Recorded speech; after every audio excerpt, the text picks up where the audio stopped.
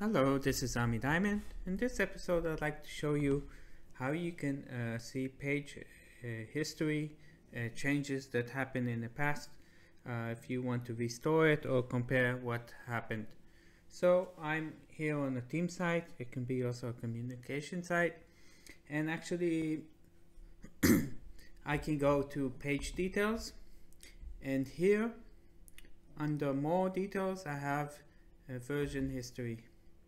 Now I can see here I'm now in uh, V7 and I can go down to V6 and I can see it says here um, an image and a text was deleted.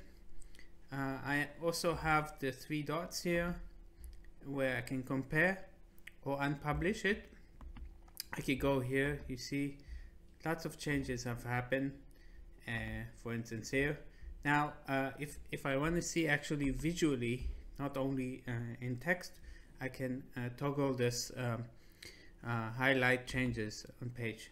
Now you see here it's marked in red and you see there's a um, trash can.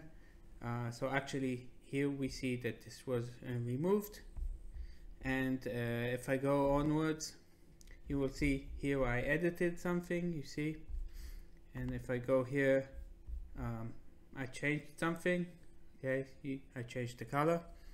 So it, it gives also visually um, lots of things. Uh, I mentioned that there's here a compare. So you can see here um, it compares between six and uh, between uh, different uh, versions. And if I actually do unpublish it will uh, bring it back to the the last uh, possibility and uh, this is more more or less uh, what you wanted to see. So actually you go to the page details no matter if you're in edit or, or in publish. I think it needs to be uh, after it's published.